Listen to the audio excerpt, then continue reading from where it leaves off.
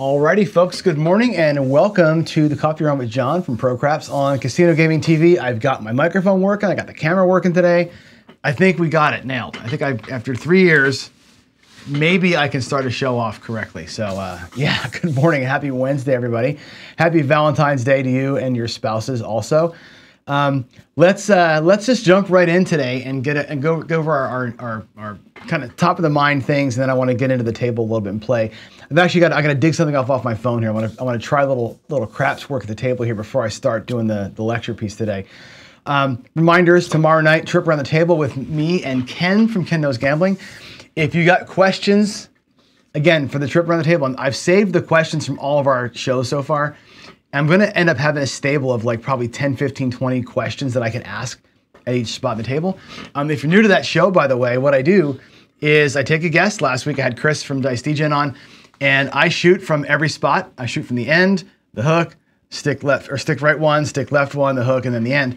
And at each station of the table, I do one shooter. Um, I have one drink. My guest has one with me if they drink, and we ask one question. And that one question cannot be a gambling thing. It cannot be about gambling. It can be about anything else. We can ask a light politics question, a light religion question.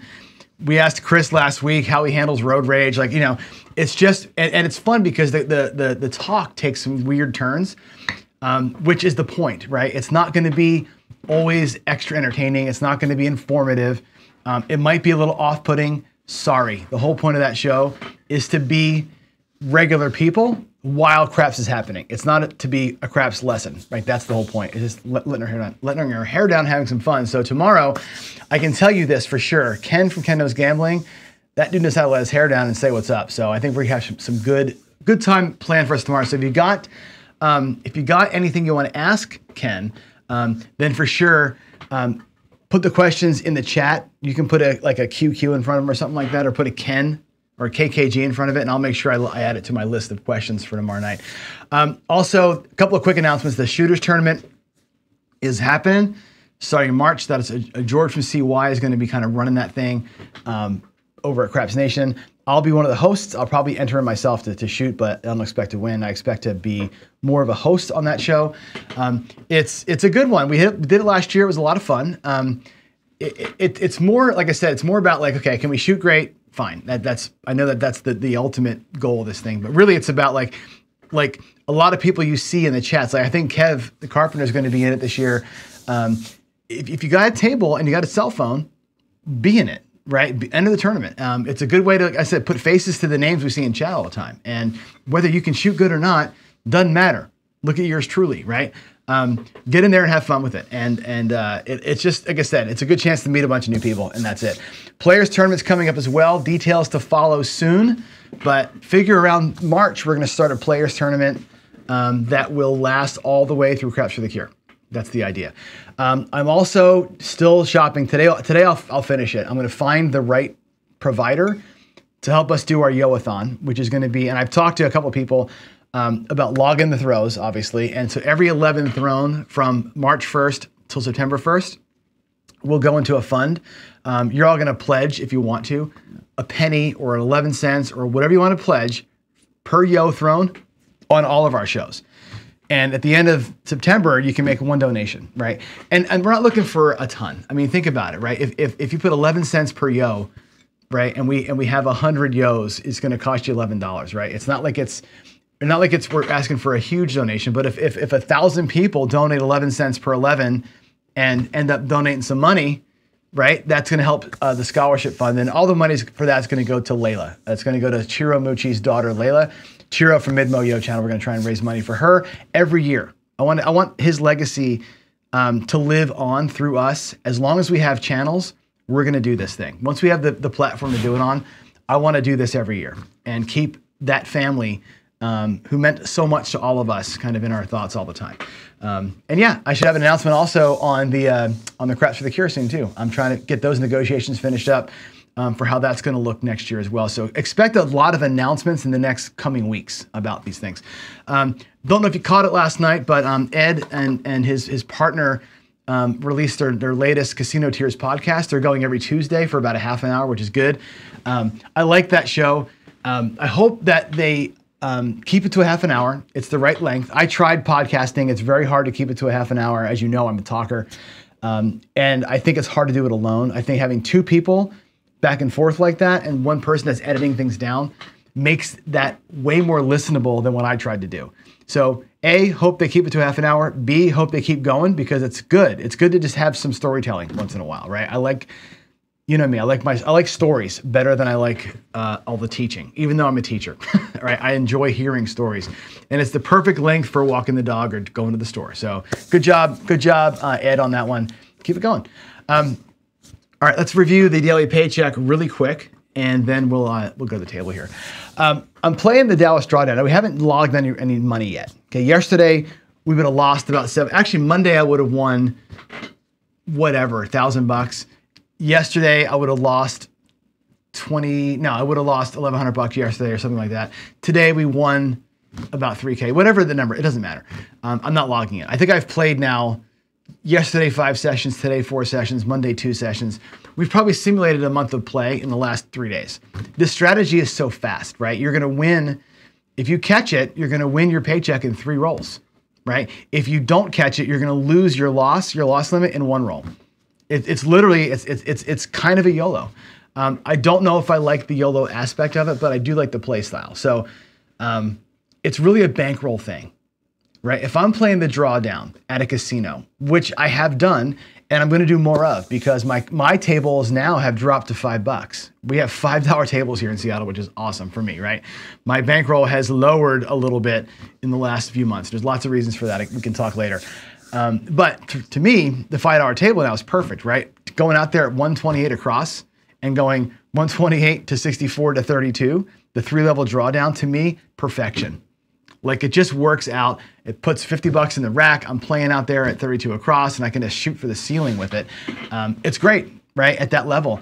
At this big level, it's painful to lose the, the 1200 bucks, right? But again, it's relative to the size of your bankroll. Losing 1200 bucks sucks mentally, but really when it's just part of what you bought in for and it's designed to do that, you have to be okay with that. And I think it's a, it's, it's a mental game for us right now. So um, I put an alternative out there, which I'll show you here at the table this morning, and see what you all think of this of this of this alternative to it.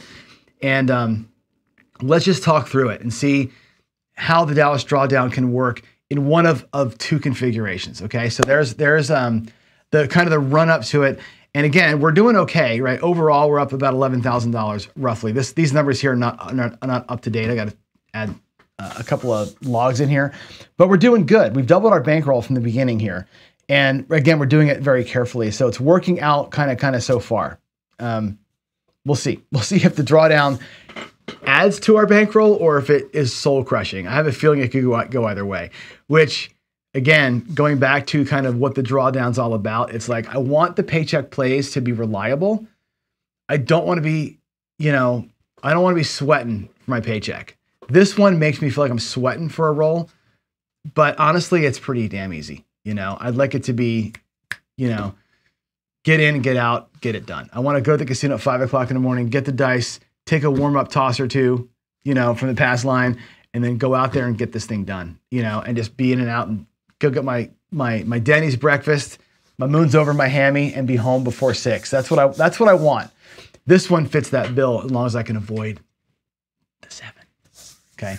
Anyway, here we go. Let's um before I go, to the, the, the, talk of the day, right? And our talk of the day here is, is going to be, um, we're going to get into, uh, into this, the bankroll and accounting stuff. But before that, let's go to the table. Let's actually just go out there and, and, and play um, a little bit of the drawdown. And I want to I want to run through some options with you as I go through it. Things that I ran into today, and um, let's just have you all talk um, in the chat. And maybe what we can do in the chat here is this: I'm going to put a filter on my chat um, I'm going to put DD on my filter. If you have a thought on the Dallas drawdown, okay, put a DD colon in front of your chat like this. I want you to do this. Say DD, DD colon sucks, okay? Whatever you think of the Dallas drawdown.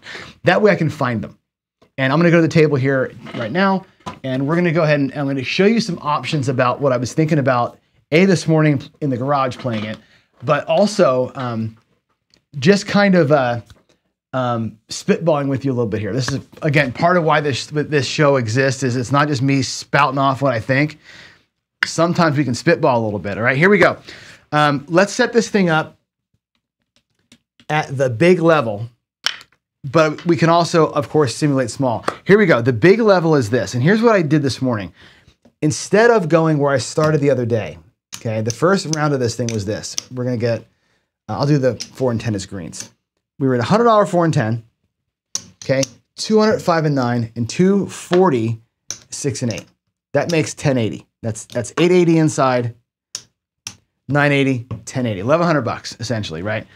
Um, and every bet is divisible by four. So when I get a hit and it's 280, 275, 280, it's very easy for the dealers to go bring it down and split the bets. That was the reason why I switched the drawdown to being a half size bet. It goes to 120. This goes to 120. I got to get some nickels.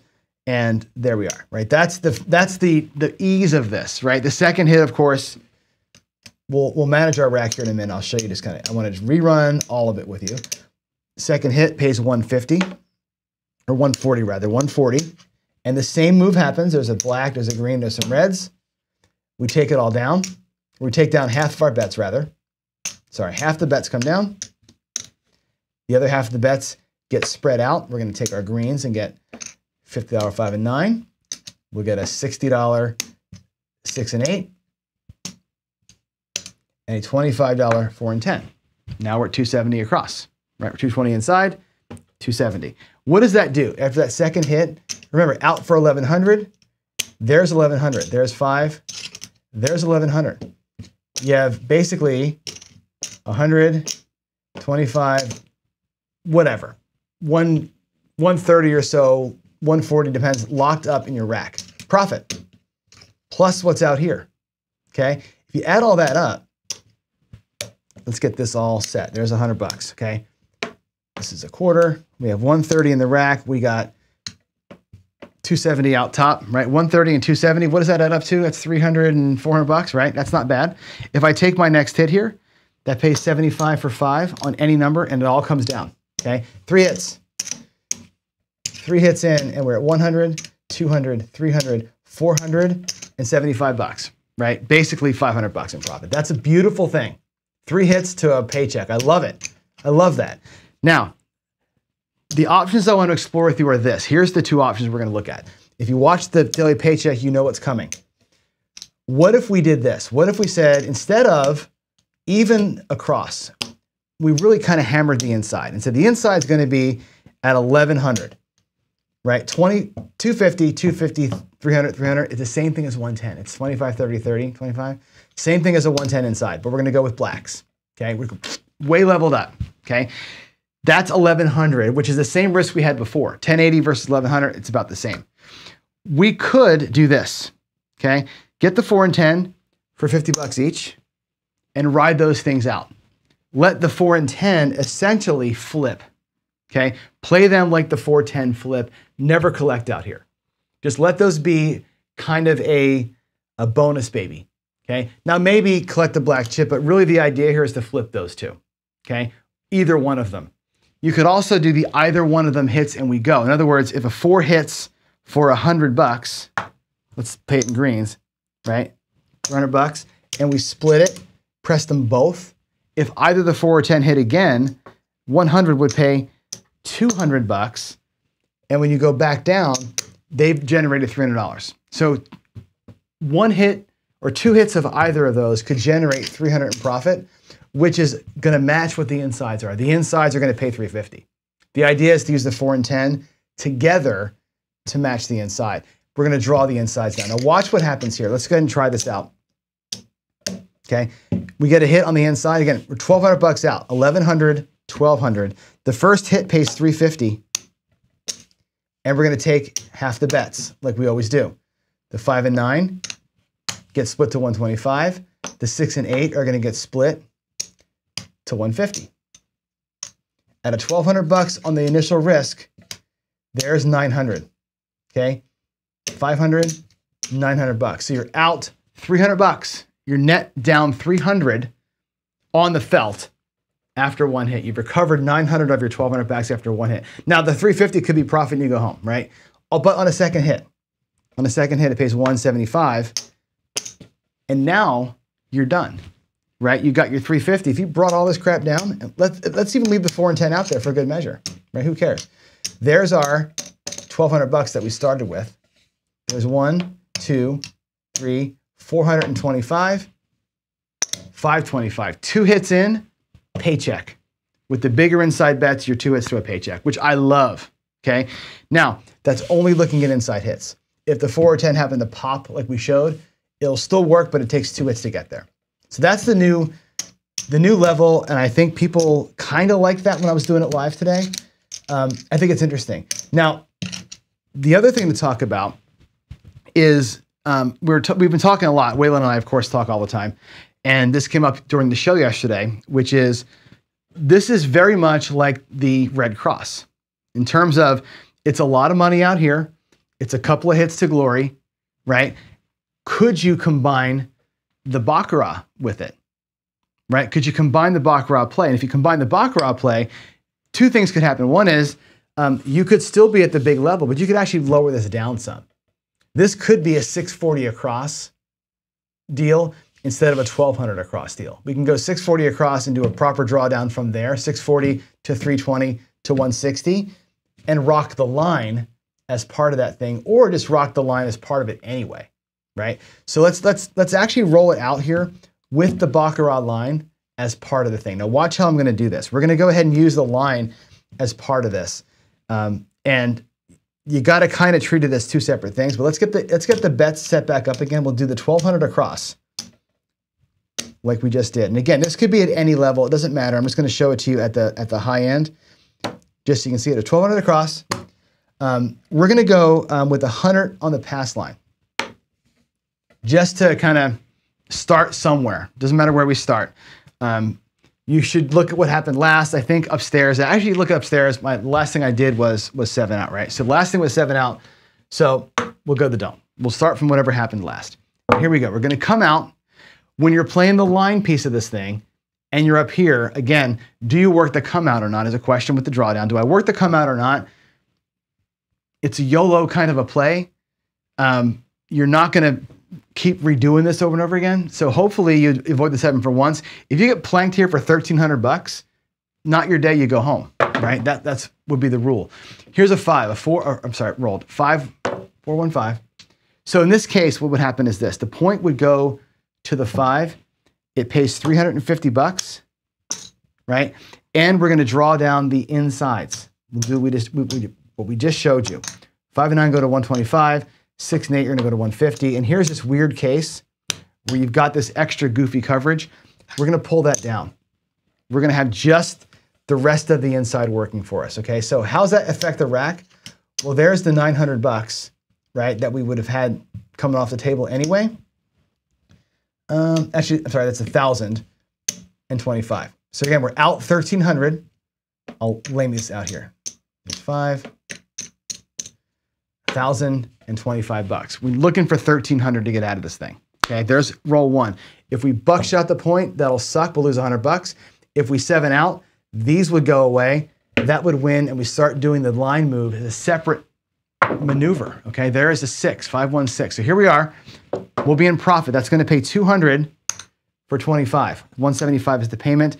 And again, the insides now are going to come down here. I'm to have to get some change to make the bets. And there we go. We're to be at um, 50, 100, 50, 170 inside. Okay, instead of 220, now look at the rack. 1,000, 11, 12, 13. That's our, that's our whole starting foray. That's everything. That's the pass line, the don't pass, plus the across bet. We got 155 hours in profit locked. We're still playing, and we're still playing. We're going to play this a couple times in a row. Five, four, nine. That'll be 75 for five. And again, we're going to bring them all down. Now we're going to come all the way down to this. How nice is that, right? One, two, three, there's 200, 350, 360 in profit, locked up profit, plus whatever that is out there. It's 125, uh, 135 out there. Okay, so again, that can come back in and be done. If you want to be done and let that don't pass just be your rock star, because there you go. There's your 500 bucks plus the don't pass is sitting there. And again, the Baccarat line just plays itself out, right? We'll let the, we'll let the numbers roll out here. Three hits, you got your complete paycheck, and we'll just see what happens on the line. Nine. Grab a seven here would be awesome, wouldn't it? There it is, the 437. You take an extra 100 bucks out of this thing, and now you've got one, two, three, four, five, 600 and almost 700 bucks in profit. I like that piece of it. Now this, again, this could have gone south. We could have hit the five and lost that bet. And instead of, instead of that, you're going out to the pass line for 200 bucks and you're going to rock this. Because I want this to win 500 and I want this to win 500. I think you can make a paycheck with both of those things, right? I think that's a, it's an option for us. So I think adding the line to this adds some volatility, right? Now, if it's me, playing this, what I probably do is I take the $100 win, right? And we'll stack it up. We'll at least press it by half, maybe do a full power press of that or a full press of that thing and try and rock that line. Try and rock the line on its own thing. Okay. Yeah, put some of the profit at risk, but really trying to hammer that. So I want you to consider, I'm going to go check chat now, a couple of options there, right? One is the bigger inside play as an option. Two is adding the line to it. Do you want to add a Baccarat line to this thing and accelerate it? And if I do, should I go 640? Because I want to show you what 640 looks like. We're going to go ahead and, and do the, the 640 drawdown. And if I did the 640 drawdown, I would tell my dealers 640 across, um, set it up as greens. I would ask them to make it green. And the reason for that is this. Let's go ahead and do a 640. I'll show you what this looks like. 640 drawdown with $100 on the line is be the right ratio for me. 640 looks like this. First hit pays 140. And down it comes, and the splits are easy. The money's already out there for the split. It's super simple to deal, okay? Remember, 640 was the starting point. Let's see where we are here. I don't know where that black chip came from. Did I have, I think I had a black out there instead of a green. Uh, all right, so one, two, 300, 50, hit number one, 375, back in the rack. Hit number two, pays 75 for five, and again, split it up. Again, look how easy this, for the dealers, this is so easy. This is like a no-brainer for them, right? There's 400, there's 500, there's your 640 back in your rack on that second hit. You're out in two hits.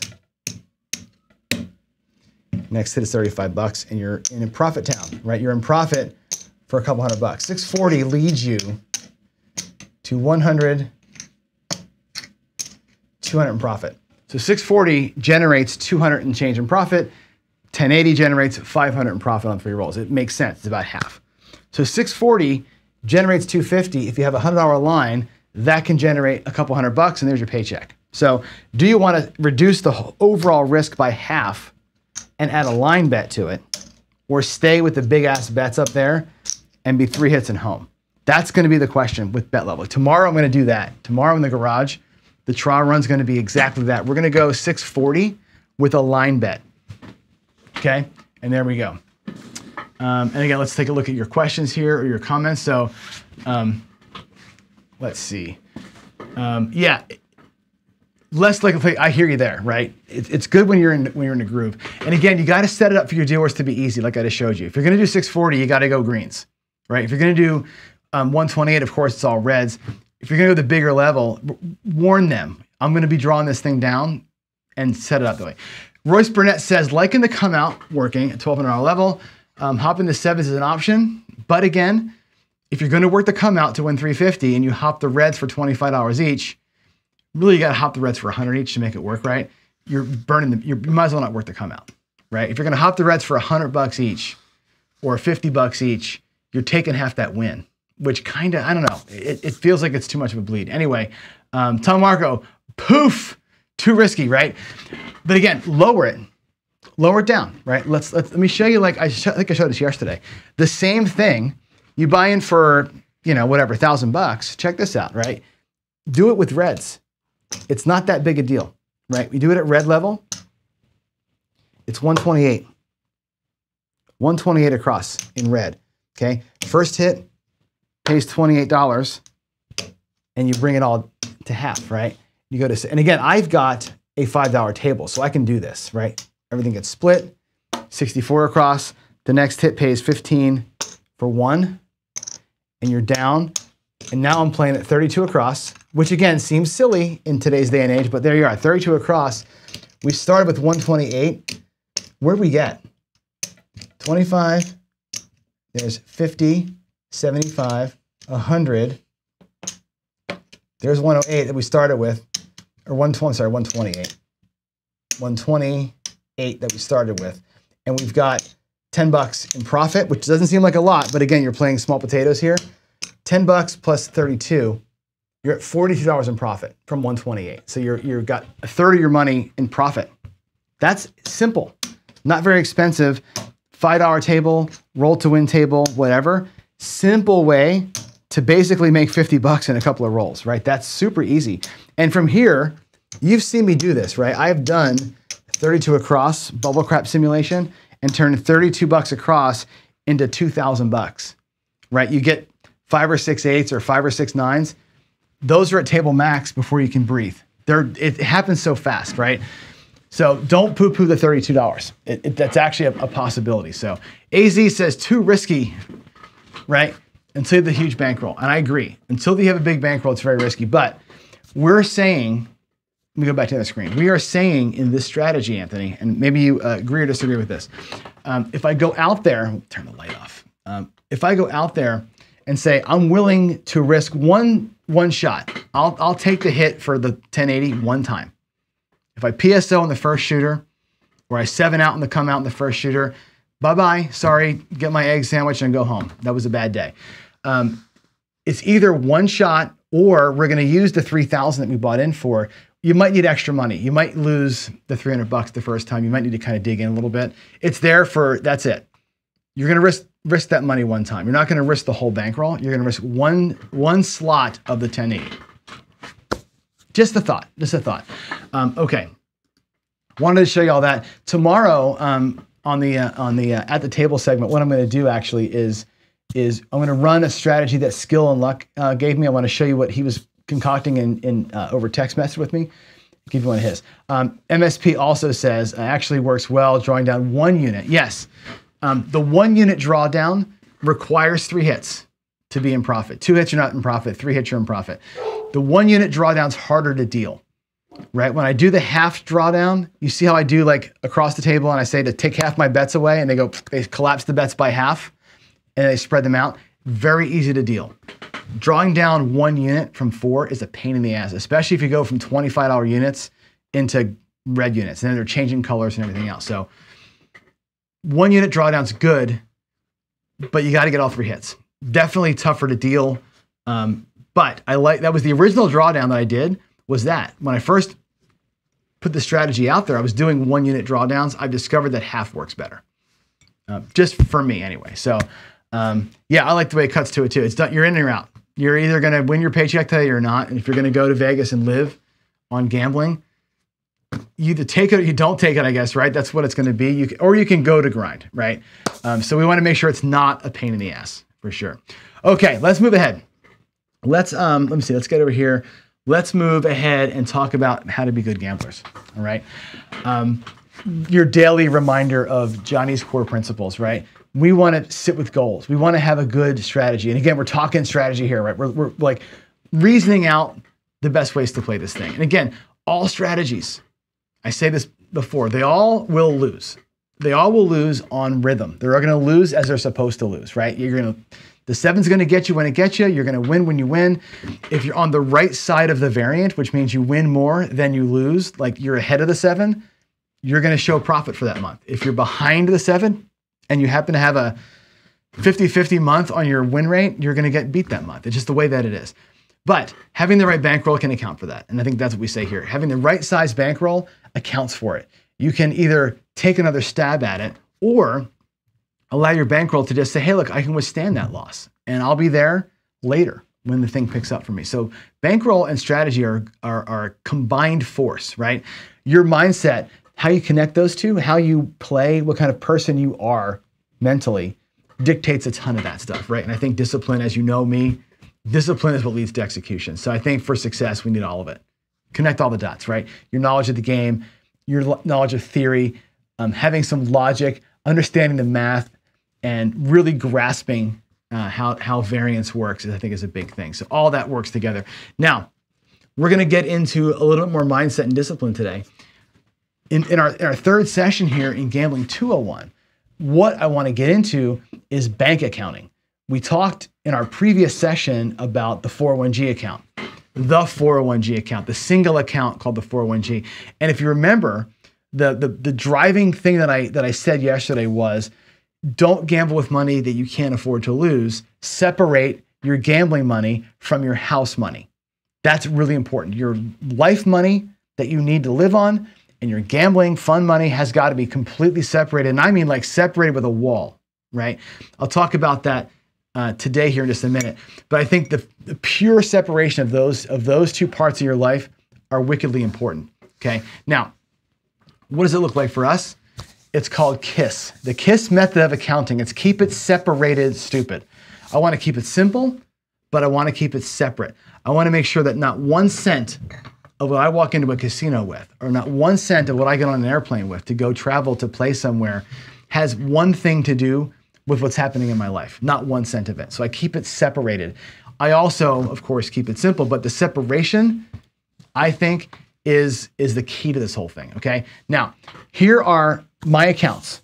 This is with the um, this is with the uh, account numbers and the amounts grayed out, obviously, right?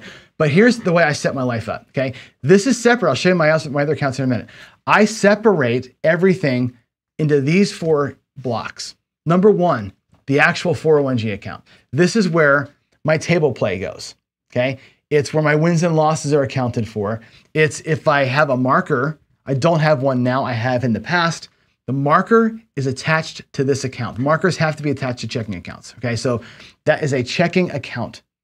That's what that is. It's a small interest bearing checking account, but it has the money in it that I will withdraw from to go play at the casino. That's where the money comes from. Okay, what I generally do, and you'll see how the flow of this thing works. If I take $1,000 out and I win 1100 guess what? $1,000 goes back. It's, it's, a, it's a cycle. Take a grand, win 1100, put a grand back. If I'm no longer in bankroll builder mode, we'll talk about the modes here in a minute, but that's account number one. Account number two is the excess account. In this account goes some percentage of my wins over my goal.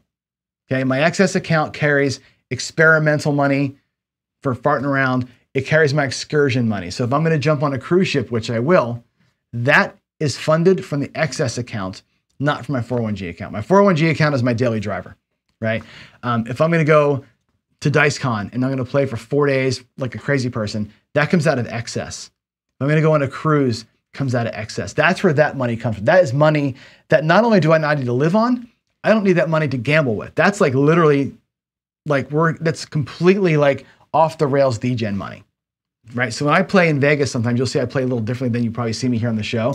That's coming from excess. That money is light on fire money. Okay. But I, I, I account for that ahead of time. Okay. I have another account called expenses. And again, part of my wins over goal go into my expenses account. Generally speaking, it's if I win, let's say my goal today was 500 and I won 700, that's 200 bucks over goal. 100 goes into excess, 100 goes into expenses. And I split I split the excess win into those two accounts. And I grow my expense account and I grow my excess account over time as I'm winning. Okay. My venture card has miles on it, right? Obviously. Um, so that's with a card that it's a credit card that I use to purchase gas, food, my travel, my accommodations. It's the it's actually the expense card. Okay. That card I use it because it got, it got those miles. My expense account pays the card. You follow how that works? So if you picture a day at the casino for me, let's just put fake numbers out there. I go to the casino, I pull a thousand out of 401g. And the flow of money goes this withdraw a thousand, win 700. Let's say I have a great day. Let's say, actually, let's lie. Let's not lie. Let's say my goal was 20%. Let's say my goal was 200 bucks and I won 300. Okay. So I won more than my goal. What happens? I walked in with a grand at a 401g. I'm walking out with 1300. The thousand goes back into the 401g. It's a net zero transaction. Okay. Now I got the my goal, my 300 bucks goal. Well, $200 of that was my goal to win for the day. That goes home. That goes with me and Kathy. That's like buying the TV set. That's or whatever. That if I'm living on it, that goes into my my my home. Check. That's like my paycheck, right? That that extra money. If I'm building a bankroll, I put that 200 bucks back into my 401g account. If I'm not building that bankroll, once that gets to a ceiling, by the way, the 401g, once it's at 50 or 100k, that's where it stays. I don't need to keep building it. It gets to a point where it's good. That win, that goal win, comes home, and that's my whatever money.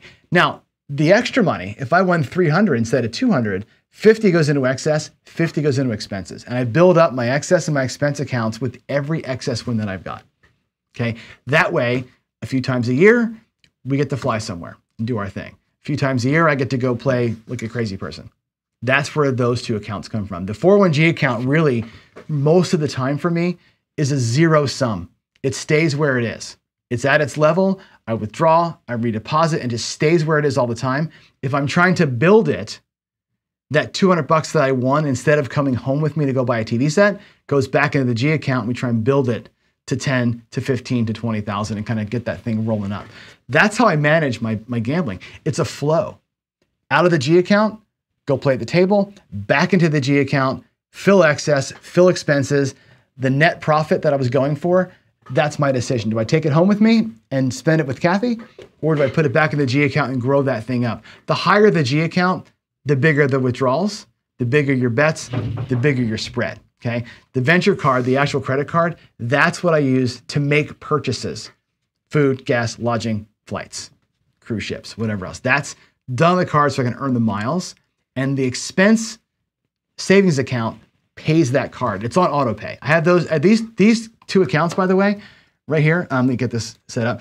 These two, um, let's actually do that in red. These two here, that's on auto pay. Like it literally, the expense account pays the venture card account every month. That's that's like I don't even I don't even look at that. It just happens automatically, right? The expense account or the, the excess account here, this is my my my what I call fun money account. That thing is what we go play with when I see you all. This right here this is the stable line, right? This thing goes up a little bit here, down a little bit here. It's pretty, pretty stable. Once it's at level, it stays at level. That's how I run my gambling life. I don't take big hits in the 401g. If I take a grand out of it, I'm not usually losing that grand, right? I'll, I'll do a little bit of heartbeat in here, right? But I'm not putting that thing at extreme risk. And, I, and this is the way I've done it most of my life. I never had the excess account before Ken talked me to start doing the excess account. I used to do my trips from expenses and from 401g. I've added this account now um, to keep this thing um, a little more separated, a little more make it make a little more sense. That's how I think you manage your accounts right now. As far as what kind of accounts these are, it's important to think about that, right? This one here should be, I'm to put IB, an interest bearing account. It's going to have, at all of them actually should be, right? If you can do it, a money market account, right? Where you can have uh, transactionless um, or feeless transactions. So you can actually invest that and have that money working for you while you're not gambling with it and growing as it grows, but be able to withdraw and deposit without transaction fees. If you can find one of those, I've got one. The way I've got this thing set up, it's it's a partial of that, um, and I considering making these two actually CD accounts and having like a every threshold uh, drop a CD in there. Anyway, that's how I manage my 401g accounts. I think it makes sense to keep everything separate and have every account have a purpose behind it. And the impetus for this, or the idea for this, comes from Dave Ramsey. And those of you um, who know me um, know that I like Dave Ramsey. Um, he's actually changed my life. And I'll give you a little personal story here. Um, in my personal life, I worked the exact same way. Okay. We, my wife and I had a while back some financial problems and not problem problems, but it was like we weren't managing our money very well. We were like, where's everything going? We, we couldn't really, we were on the same page. And we got into it. And, and here's how we've set things up now. This is a beautiful thing, right? Our incoming account, we have an account, literally in my bank, it's called incoming. Um, my paycheck, her paycheck, um, dividend income, all the excess monies that we get go into the incoming account. If I sell a treadmill, that money goes into the incoming account. This account is like where everything kind of starts from, right? Um, let's throw a number out there. Let's say that in a given month, it gets $10,000 put into it, whatever that number happens to be from, from all the money that comes in. Well, I have an account called Main. Okay. My main account, mortgage, electric bill, car payment, insurance, all the things that we know, all of our basically fixed expenses. Well, guess what? In the first of the month, my banking account, uh, my, my, my bank system sets up to automatically do a deposit. There's an, an automatic withdrawal that comes out of my main account or my incoming account into my main in the first of the month. That main account just gets drained. The month, whoever's, whatever, the electric bill, the water bill, all those things are auto pulled out of main. So incoming feeds main. Okay. Incoming also, and I and, and it's an exact amount. I give it exactly, I know what it takes. We call it the Cocos Corporation. I know what it takes the Cocos Corporation to operate on a, on a given month. That exact number comes out of incoming and goes into main. Okay. Also from incoming, every month on the first of the month, we feed our expenses account. This is our this is for us, it's it's a it's a thousand bucks right? 1000 goes into our expenses account. That's groceries, that's Amazon crap, that's buying stuff for people's birthdays, that's all the stuff that we kind of just spend during the course of a month. That's our expenses account. And again, automatically first of the month from incoming, it gets fed in, okay? We also feed an entertainment account. And again, this is less. For us, it's 250 that goes into that account every month. First of the month, 250 goes into, entertainment and that grows. Some months we put more, some months less. It depends on what's going on. That's when I take Kathy to dinner. We go see a concert. We want to go to a movie, whatever that is. This account accounts for that. At the end of all of that, we also feed, I'm going to try another arrow here.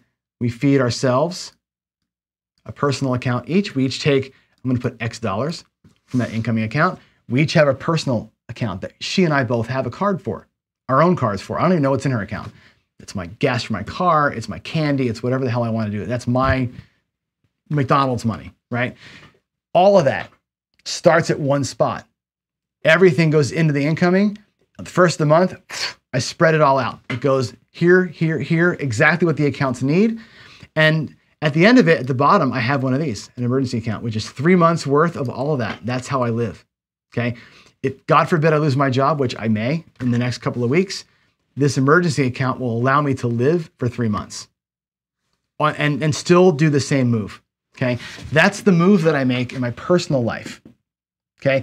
Again, it all goes into one account and every month I budget and I, and I feed it out. This account here, by the way, is growing all the time. It's a savings account because if we take in 10 grand and I, and I, and I spread out 8,600 between the other accounts, it's got an extra grand in it and it grows and grows and grows. That ends up feeding the emergency account. It ends up feeding retirement accounts. That's my personal life, right? That and that works really, really well for me, right? Well, guess what? That's the exact same thing as this account system. The 401g account works the same way. Money goes into the G account. It is a source of all of the things.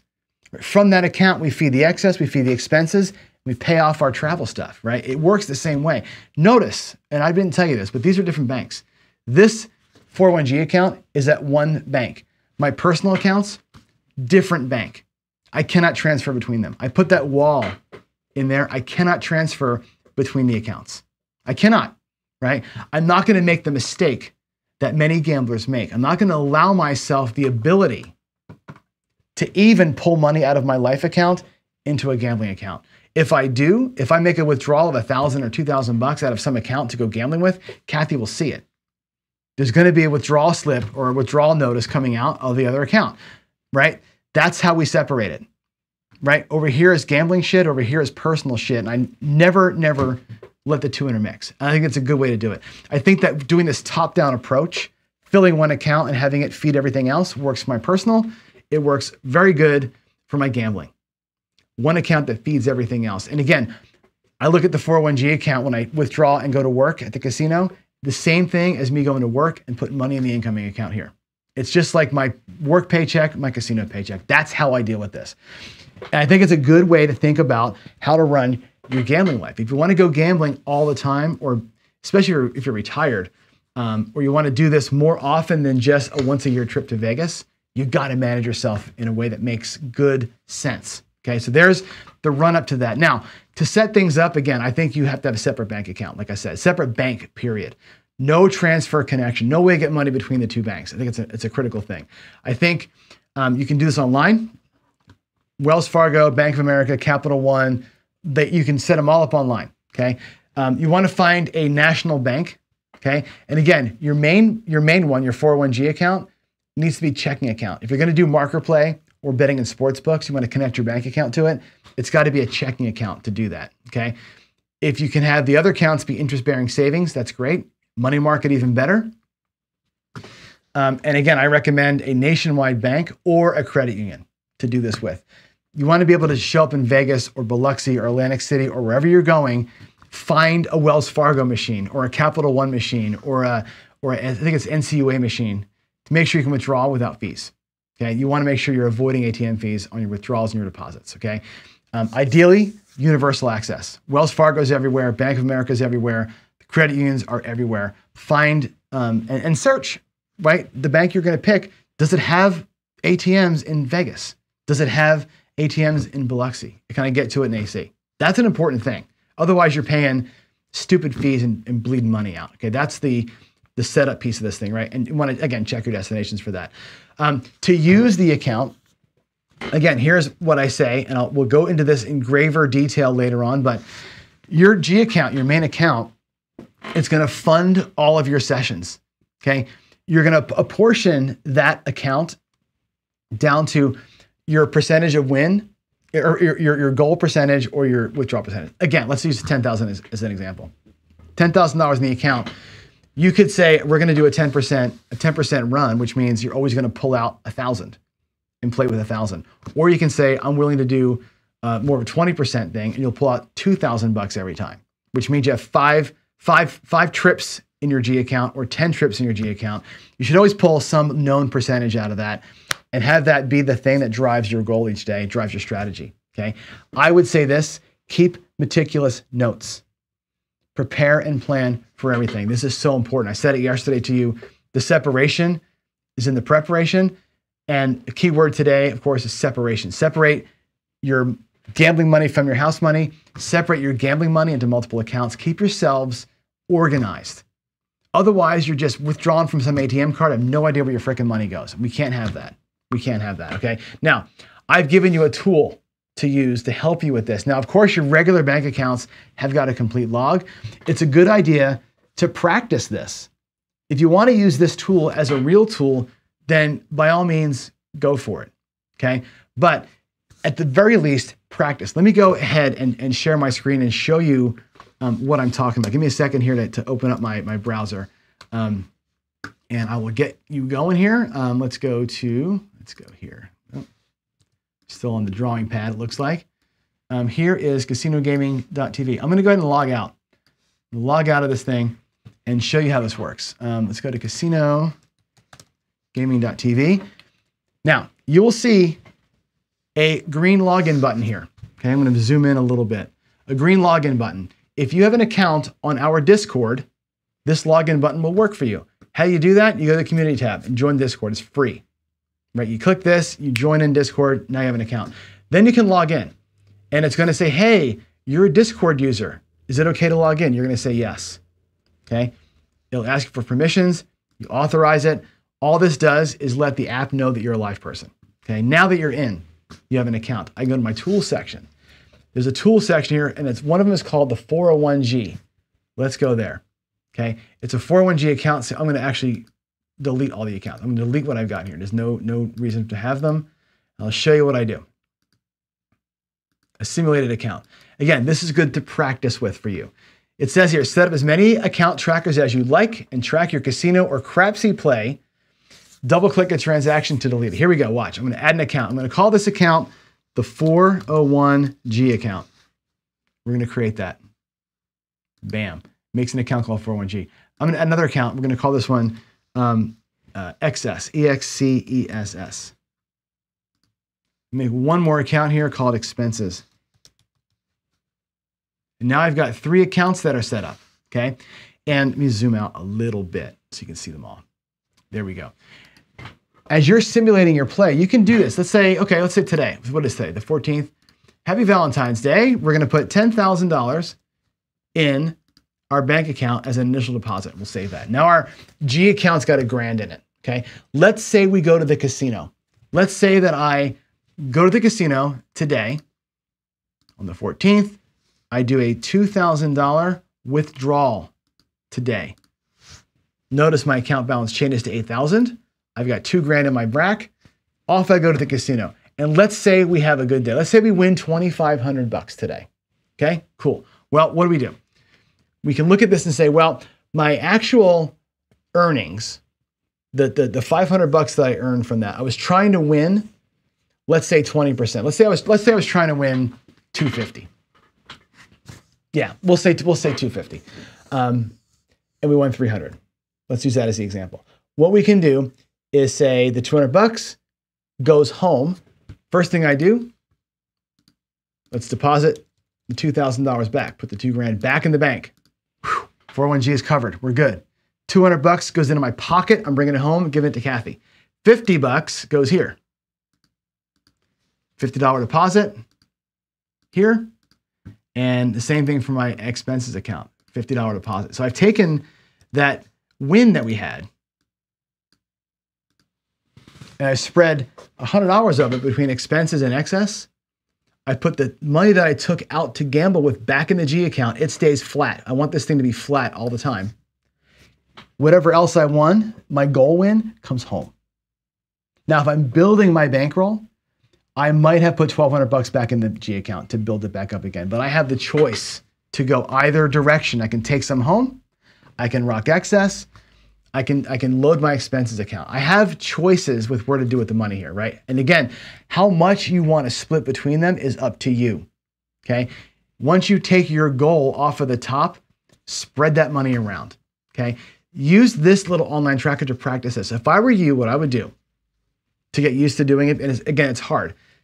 Put 10 grand in in a fake account like this, play Crapsy with it. Every time you buy into a Crapsy table, whatever the buy-in was at the table, pull it out of this account play Crapsy, and when you're done with your session, spread this out and see when you're playing Crapsy with Jeff and with uh, Ed and those guys, and with Alfredo and with me and with Chris. How does these accounts react to your Crapsy play? This is a great way to track your practice sessions. Okay, it's a great way to practice your, your practice sessions. Could you use it to, to do your real life accounts? Sure. But you, your bank accounts already have all the transactions in it.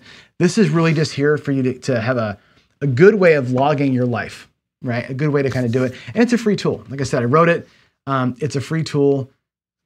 Do what you want to with it, right? I think that's that's the idea, um, is to give you a place to practice and a place to kind of, uh, you know, do, put the work in. So uh, there it is, guys. That is uh, that's what I got to say for today. Okay, separate, separate, separate. And again, the very first slide I gave you on this thing, right? was keep it separated stupid and also keep it simple stupid. That 401g account, like I said, that level stays clean. I try and keep that thing at the same all the time. Withdraw, deposit, withdraw, deposit. It only goes up if I'm trying to build, right? But if I want to build, the idea is if it goes from 10 to 20 grand, guess what? My buy-ins instead of a thousand, they're 2,000. And instead of green chips, it's black chips.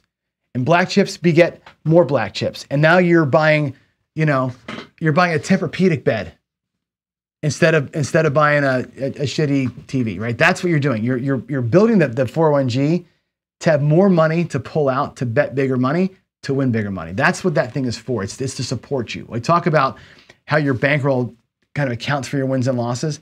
That's the reason why you build it. You build it up so you can afford to buy in for a little more to increase the size of those wins. As long as you're moving money around in what I think is a smart way, you're going to be okay.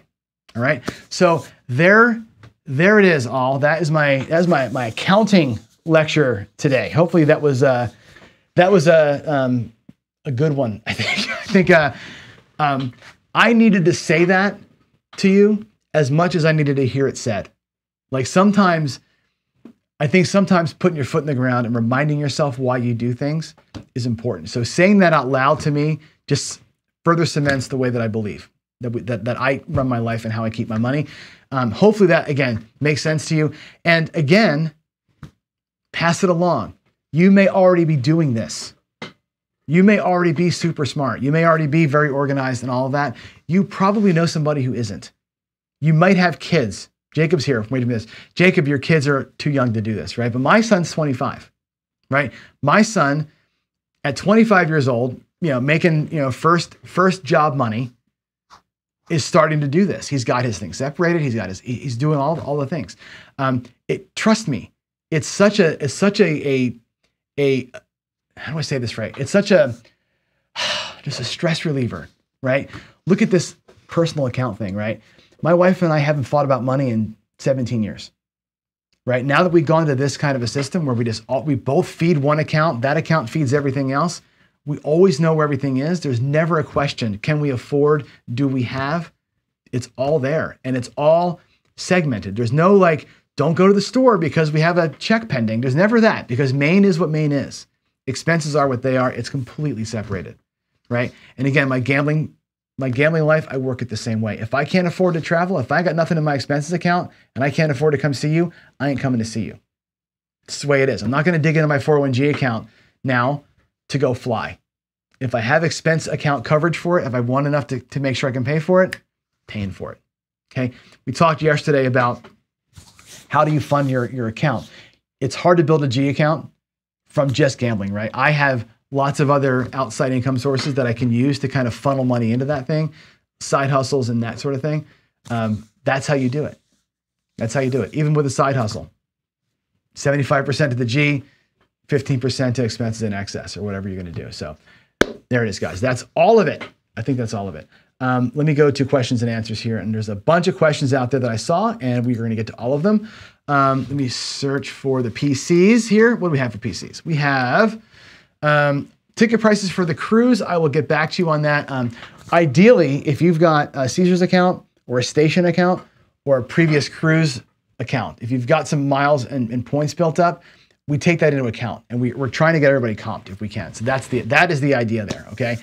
Um, I can't zoom in, unfortunately. Um, you'll have to you'll have to pinch and zoom your phone. Sorry about that. Um, I may though at some point put all this out in like a. I was talking to Jennifer about this actually about releasing when I get done with this whole series, releasing it all as a as a course, right? Like a legit like online course. And in that case, I could put PowerPoints out and I can put out uh, worksheets that would have all this stuff in it. And that would be, I can't do on YouTube, obviously. There's no worksheets, but um, I think I want to put some worksheets out. So um, let's see. Based on my stance with the five count, what's the difference between taking one hit and trying again the next day? Um, yeah, you're right. You're exactly right. Um, and I did it like today's a good example, right? I went out there, I went 4 0 today. I did four sessions. One thing we're going to talk about is the idea of this expanding session bankroll. When I get into bankroll management here, we're going to talk about that. Let's say I bought in for 2K or, or, or the 3K, right? We won the 500 bucks. Now my bankroll is either at 3,500 and I walk with 500 in profit, or my bankroll is 3,500 and my next bets up top are fifteen or sixteen hundred dollars. I can take that extra and, and build and build and build and have higher win goals in the same session. There's no need to just run away. What you're saying here, right? You can play out there three or four more times. The difference is this though. If you win 500, go back out there for 1200 again, you're at the risk of being down 600 bucks if you burn. You got to start over again. That's why you bring extra money. But um, if you can pull it off twice in the same day or three times in the same day, why not? I, I'm with you. And that's a thing that we will have to pursue when we talk about the paycheck play coming up. Do I just keep rolling with it and repeat the sessions until we have a bad one? I don't know. I don't have the answer for that. Um, let's see. Um, he says, Victor, if you have any real wealth and you use markers, it's not really that separate. It is separate in this respect. Um, and, and again, I'm going to have um, I'm going to have a, a, guest on here. I don't know when, maybe in a couple of weeks, um, who works as a uh, in the casino credit department, who will give us chapter and verse about how markers work, right? But the, the essential piece of a marker is that you've got to have an account, a checking account, registered with the casino. And the marketplace says, okay, they, they say you've got 50K in your account. You can have a marker for X, not the whole 50, but they'll give you a marker for 10K or whatever it's going to be. You walk to the table, here's my marker. They give you 10K in chips. Nothing changes in your life. You play your game out, you win $11,000, you push back 10K, pay off your marker, right? You bring $1,000 with you. That's kind of the way that that works. If you lose the 10 grand, you've got 30 days to pay that money back. Because they are attached to your checking account, your 401g account, if you default on paying back that marker in 30 days, they will pull it out of your account. They're attached to it. They can put a hold on those funds. That's why it's got to be checking, it's got to be an insured account, and to get it all set up, you got to if you're going to play marker play, you've got to get that set up. So again, I'll have a casino credit person on with us to really explain the nitty gritty of that, what it requires, how you set it up. It's a good thing to think about marker play. If you have, like, let's pretend I got a marker at Caesars and a marker at Station. Um, and let's pretend that you're buying in for five grand or 10 grand every time. I don't want to walk around with 5K in my pocket. Okay. I mean, there was a point in my life when I was 200 pounds and I actually had muscles. Now I'm 55 years old and I'm losing weight, right? I'm not, I'm not running around with 5K in my pocket looking to pick a fight or, or defend myself against three people, right? Having the marker play, you don't got to worry about that, right? Take a marker, play your marker, take back the little bit of profit that you earned on that thing, and that's what you got in your pocket, right? That's it, it can be a safety measure too. It can be a convenience feature number three. You don't got to worry about it. Just show up at the casino, pull your marker out, play your money, and go home. It could be very simple, right? Um, it's a feeless ATM in that respect, as long as you've got the bank account to back it up. So again, we'll have more. We'll have somebody here talking about it with us who can really answer questions. That will be a day where I say to you ahead of time, the casino credit guy's coming on on Thursday. Get your questions ready, and we'll ask him a bunch of questions. It'll be a, like an interactive session with him because I, I, have questions about it too. Um, that'll help. He'll help us get it back. So um, your problem is getting cash back in the bank. Yeah, I hear you there, man. Win the money, put it back in, right? Um, Wayland's Way Craps, um, I did it today. I, I, reset the bankroll today four times and won. Um, I also like the idea of compounding it, right? Buying in for three grand, winning 500. Now I'm at 3,500.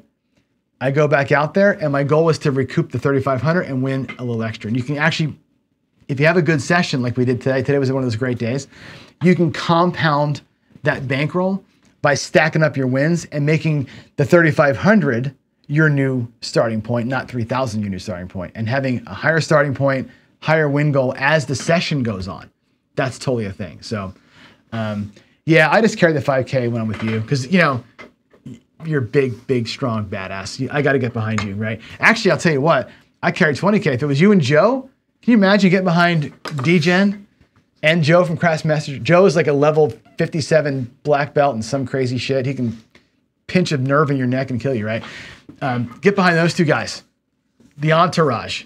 Get some get some of them sunglasses, give them both black coats, and that would be that's a picture I want. I want to get a picture of me walking behind you two. 100% buying you guys black suits and sunglasses, the things in the ears, and me behind you counting the money. That's going to be a, a, that'll be the new website picture. All right, guys, that's it. Nine o'clock. We're out of here. Um, that was a good show. I think it was a good show. Hopefully, the information was solid for you. Um, and again, just be smart. Separate your money from your life. Your gambling money and your life money, not the same thing. Gambling money, I like the trickle down. I like the spread effect. I like keeping control of things. I like keeping my 401g account on on the steady, on the steady. I don't necessarily keep building it once it's at a point. I get it to a point that that's my that is my my connection point to my to my uh, my fun money. So anyway, there you go. Happy Wednesday. Happy Valentine's Day. Um, hug your spouse. Go buy him something fun. Enjoy some chocolate, and uh, you'll have a great day. Love you all. God bless. See you tomorrow. Bye.